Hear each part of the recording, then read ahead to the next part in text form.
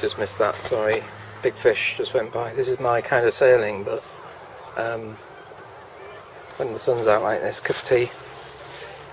A light wind, but this is ridiculous. It's actually no wind, really. And I'm coming up to a shallow, which means I've got to turn. I think I'll stick the jib up when I get over there. Finish my cup of tea first, but might as well sail with the jib. Oh, there's the fish. You can see it.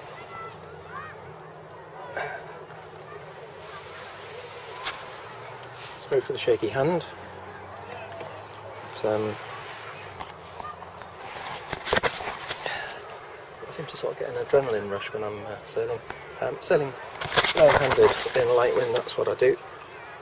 And just by moving my weight about on the boat, I can control the beam a bit and um, alter the course.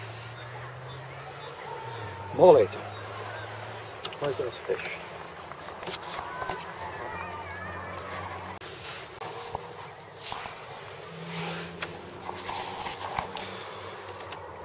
I've just had the occasional breeze come on um, and I wasn't able to get the camera out. See it's uh, there's a breeze over there which has just passed through and I mean it was a very gentle breeze but it didn't have zip along when we caught it.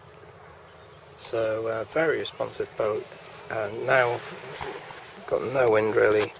We're still moving. I've done what I came to do. I'm going back in now. Um, so there we go, the first sail of hopefully many.